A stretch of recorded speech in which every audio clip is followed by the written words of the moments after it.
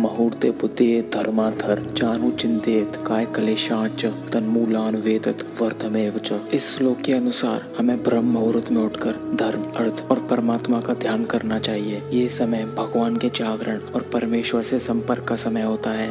रात्रि के अंतिम पहर का जो तीसरा भाग है, उसे ब्रह्म मुहूर्त कहते हैं। और निद्रा त्याग के लिए यही समय शास्त्रों में लिखा गया है। स्वामी गौरंग पद के अनुसार हर एक दिन तीस मुहूर्त होते हैं। अगर उन तीस मुहूर्त में सबसे ज़्यादा पावरफुल कोई मुहूर्त है तो वो है ब्रह्म मुहूर्त। सूर्य उदय से ठीक 96 मिनट पहले ब्रह्म मुहूर्त की शुरुआत होती है। ब्रह्म मुहूर्त में ऐसी कौन सी ताकत है, जिसके चलते हम जो भी अपनी ज़िंदगी में पाना चाहते हैं, या फिर हम जो भी अपनी ज़िंदगी में अचीव करना चाहते हैं, वो सब कुछ हम अचीव कर सकते हैं। क्या सच में इस टाइम में ऐसा कुछ खास है? क्या कोई ऐसी पावर है इस टाइम में, जो इस समय को इतना खास और इतना पावरफुल बनाती है? मैं आपको गारंटी देता हूँ, अगर आप सुबह 21 दिन ब्रह्म मुहूर्त में उठ गए तो आप अपनी लाइफ में आए हुए चेंजेस को देखकर बिल्कुल तंग रह जाओगे। तो आप सोच रहे होगे कि हमें केवल 21 दिन ही क्यों उठना है। तो देखो, इसके पीछे का रीजन ये है, किसी भी आदत को बनने में या फिर छोड़ने में केवल 21 दिन का टाइम लगता है। इस वीडियो के एंड में मैंने सुबह जल्दी उठने के लिए आपको कुछ टिप्स बताई हैं। इस वीडियो को पूरा एंड तक देखना। सो बिना कोई टाइम वेस्ट किए लेट्स गेट स्टार्टेड तो सबसे पहले बात कर लेते हैं, ब्रह्म मुहूर्त कब स्टार्ट होता है? तो एक्चुअल में ब्रह्म मुहूर्त की टाइमिंग हर जगह अलग अलग होती है। हर सिटी हर स्टेट में ब्रह्म मुहूर्त की टाइमिंग डिफर करती है। तो मैंने पहले भी इस टॉपिक के ऊपर वीडियो बनाया था। तो मैंने जो लास्ट वीडियो बनाया था, उसमें सबसे ज़्यादा कमेंट इस चीज़ के ऊपर आए थे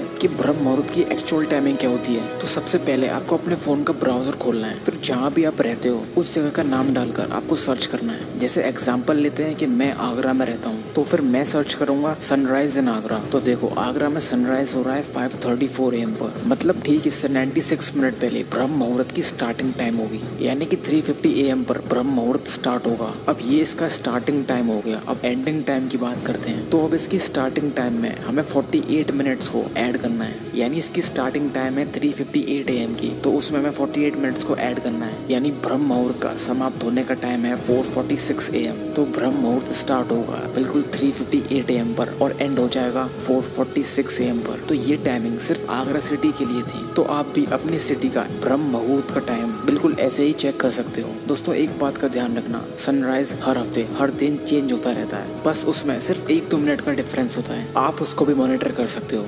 कर आगे वसत लक्ष्मी, कर मध्य मूले सरस्वती, कर मूले स्थितो ब्रह्मा, प्रभाते कर दर्शनम। यानी कि ब्रह्म मुहूर्त में उठने वाले लोग उत्साही और बुद्धिमान होते हैं। और जो लोग देर तक सोते हैं, उनका तेज धीरे धीरे खत्म हो जाता है। और महर्षि मनु के अनुसार तो ब्रह्म मुहूर्त, बुद्धित, यानी कि हमें सिर्फ़ और सिर्फ़ ब्रह्म मुहूर्त में ही उठना चाहिए। पुरातन काल के दौरान हमारे शास्त्रों को फॉलो करना उस समय अनिवार्य था और जो भी इसका पालन नहीं करता था, उसके लिए दंड का विधान था। ब्रह्म मुहूर्त या निद्रा सा पुण्य कारिणी। ता करोति द्वेजो, मोहाद पाद कृष्णा शुद्धेत। यानी कि ब्रह्म मुहूर्त की निद्रा पुण्य का नाश करने वाली होती है। आलस की वजह से जो भी बिस्तर में पड़ा रहता है, उसे पाद कृष्ण नामक व्रत करके उसका प्राश्चित करना चाहिए। महर्षि मनु के इस नियम का उस समय भगवान की तरह आदर के साथ पालन होता था। सभ्य मानव से लेकर राक्षस तक सभी इस नियम को मानते थे। भारतीय साहित्य के सबसे पुराने और ऐतिहासिक ग्रंथ श्री वाल्मीकि रामायण में इस समय के बारे में सबसे सुंदर और सबसे अच्छा वर्णन किया हुआ है। जब हनुमान जी जगत जननी माता की खोज में अशोक वाटिका पहुँचे थे, तब वह रात्रि का अंतिम पहर था। महर्षि वाल्मीकि ने लिखा है, इस प्रकार सीता की खोज करते करते रात्रि थोड़ी शेष रह गई। तब माता सीता को ढूंढते ढूंढते हनुमान जी अशोक वाटिका पहुँचे, जहाँ उन्होंने वेद व यज्ञ के ज्ञाताओं के मंत्रोच्चारण की आवाज़ सुनी और आयुर्वेद के अनुसार सुबह ब्रह्म मुहूर्त में उठकर टहलने से शरीर में संजीवनी शक्ति का संचार होता है और इसी वजह से इस समय बहने वाली हवा को अमृतुल्य यानी अमृत के समान कहा गया है और अष्टंग हृदय के अनुसार इस समय बहने वाली वायु में प्राण पद निहित है। यानी कि इस वायु के एक एक कण में संजीवनी शक्ति भरी हुई होती है। ये वायु रात्रि में चंद्रमा से पृथ्वी पर अमृत बिंदुओं को अपने साथ लेकर बहती है। इसलिए शास्त्रों में इस वायु को वीर वायु के नाम से जाना जाता है, जो व्यक्ति इस समय उठकर अपनी नींद का त्याग करता है और इस वायु का सेवन करता है। उनका स्वास्थ्य सौंदर्य और स्मरण शक्ति बढ़ जाती है, मन उत्साहित हो जाता है और इसी के साथ उस इंसान को आत्मबल की प्राप्ति होती है। अगर आज के मॉडर्न साइंस की माने तो सुबह के समय एनवायरमेंट में पॉल्यूशन बिल्कुल ना के बराबर होता है और सुबह के समय वातावरण में ऑक्सीजन का लेवल 41 परसेंट जो कि किसी भी समय से सबसे अधिक होती है। बढ़ते ऑक्सीजन के लेवल्स की वजह से आपके ब्रेन और बॉडी में ऑक्सीजन का इंटेक बढ़ जाएगा और जिसके चलते आपकी हेल्थ बिल्कुल ठीक रहेगी। और ऐसे समय में साफ़ सफ़ाई करना निषेध बताया गया है। अब नेक्स्ट है पंच तत्व हमारा ये शरीर फाइव एलिमेंट्स यानी कि पंच महाभूतों से मिलकर बना हुआ है। Air water fire earth and ether यानी स्पेस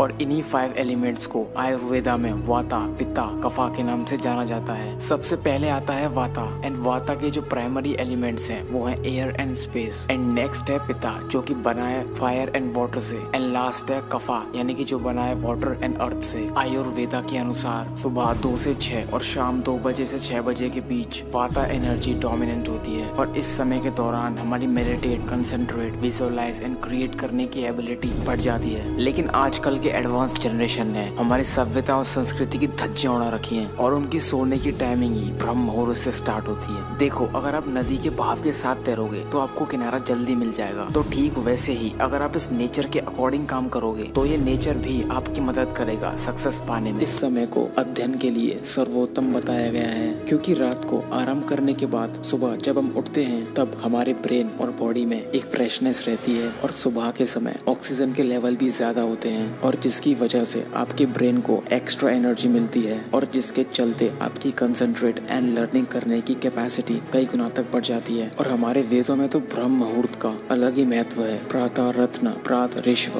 दधाती तन, चिकित्वा, प्रतिक्रमा, निधितो, तेन प्रजान, वर्धमान आयु, रायस्य, पोषेण, सचेत, सुवीर यानी सुबह सूर्य उदय होने से पहले उठने वाले व्यक्ति का स्वास्थ्य अच्छा रहता है। इसलिए बुद्धिमान लोग इस समय को व्यर्थ नहीं गंवाते सुबह जल्दी उठने वाला व्यक्ति स्वस्थ, सुखी, ताकतवर और दीर्घ आयु वाला होता है। ऋग्वेदा, यदि सूर्य उदय तो नागा, मित्रो रेमा सुवादी सविता भग। यानी व्यक्ति को सुबह सूर्य उदय से पहले स्नान कर लेना चाहिए। फिर उसके बाद भगवान की पूजा अर्चना करनी चाहिए। इस समय की शुद्ध हवा से आपकी हेल्थ और वेल्थ बढ़ती है। सामवेदा उगंत सूर्य इव स्वताना द्वेशंता वर्ज आदते। यानी सूरज उगने के बाद भी जो लोग अपना बिस्तर नहीं छोड़ते, उनका तेज धीरे धीरे खत्म हो जाता है। अथर्व वेदा, ब्रह्म मुहूर्त में उठकर हमें इन चारों एक्टिविटी में से किसी एक एक्टिविटी को ज़रूर परफॉर्म करना चाहिए। Meditation prayer learning and manifestation technique आप सुबह उठने के बाद मेडिटेशन यानी कि ध्यान कर सकते हो, या फिर आप भगवान से प्रे कर सकते हो आपकी अच्छी हेल्थ और वेल्थ के लिए। देखो, अगर मैं बात करूँ मैनिफेस्टेशन टेक्निक करने की। तो इस टाइम से अच्छा आपको कोई और टाइम नहीं मिलेगा आपके अपने ड्रीम्स को रियलिटी में मैनिफेस्ट करने के लिए। अगर आप मैनिफेस्टेशन टेक्निक यानी कि लॉ ऑफ़ अट्रैक्शन पर सच में काम करना चाहते हो तो मैं आप लोगों को एक बुक रिकमेंड करूँगा। इस बुक को अपनी लाइफ में एक बार ज़रूर पढ़ना। ये बुक हिंदी और इंग्लिश दोनों वर्जन में अवेलेबल है। लिंक डिस्क्रिप्शन में है, जाके चेक करो। तो अब बात करते हैं हमें इस समय पर क्या नहीं करना चाहिए। देखो, इस टाइम पर नेगेटिव और सेक्सुअल थॉट तो दिमाग में आने ही नहीं चाहिए। या फिर किसी से बहस करना, या फिर सुबह सुबह ही खाना खाना या सुबह सुबह ही ट्रैवलिंग के लिए जाना, ये सारी चीज़ें